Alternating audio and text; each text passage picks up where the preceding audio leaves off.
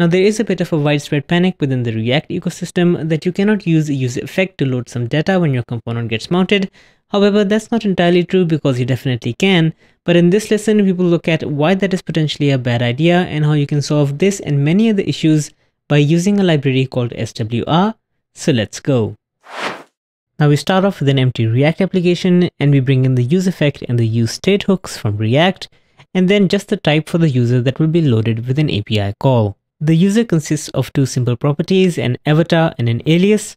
For the avatar, we have a simple component that displays the avatar value within an image tag, and the alias component is even simpler, it displays the alias with a simple h1 heading. With these simple steps out of the way, let's look at our home component. With the useState hook, we create the state for the user, which we initialize to null as the user is not yet loaded.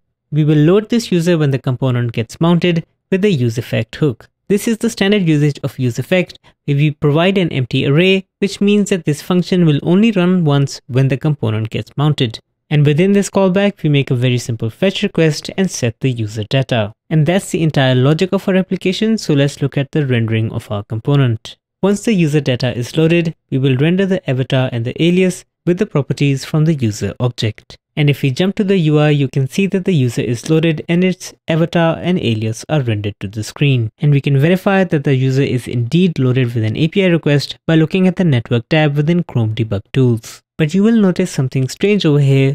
That is, there are actually two requests to the user API endpoint. If you click on the second API request, you can see that it is still returning the same data.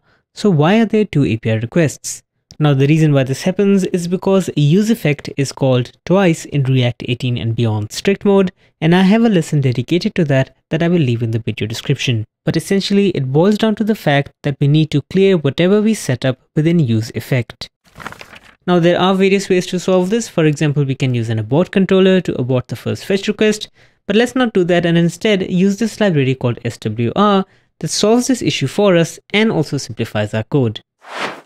Now SWR comes as a single package and it supports TypeScript out of the box, so all that we need to do is run npm i SWR. With this installation complete, we import the use SWR hook, which is the default export from the SWR module. You provide your own fetching mechanism to this hook, and for our particular use case, we'll create a simple fetcher that makes a fetch request to the provided URL and parses that response as JSON. With SWR, we don't need to create our own state variable, and neither do we need to do anything special when the component gets mounted. All of this is abstracted away from us by the use SWR hook. This hook takes a generic argument, same as use state which we set up to be user, takes an API endpoint, which will then get passed to a utility fetcher function. Now while this fetch request hasn't been made or completed, the data object that is returned will actually be undefined and once it is present, it will be this generic argument which is of type user and we store this data object into the user variable. So now if you jump to the UI, you can see that it still functions exactly as before. However, this time only a single fetch request is made to load that data. Now, of course, this is not the only advantage of using SWR, so let's look at another example where we demonstrate its automatic deduping and sharing of information between different components for the same API endpoint. We jump back to our codebase, Let's get rid of this commented out code. Now for this alias component, we will get rid of the alias property that is passed in.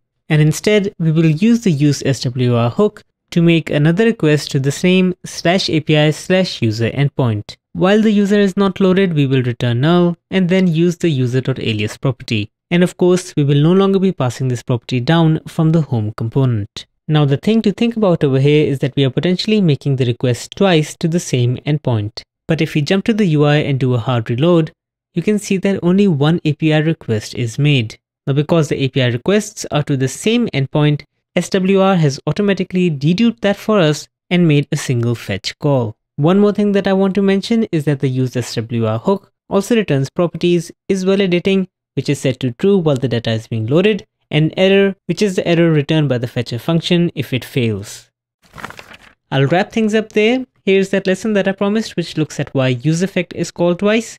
Thank you for joining me. Leave a comment if there is something more that you want to learn about SWR. Smash that like and subscribe for more content like this, and I will see you in the next one.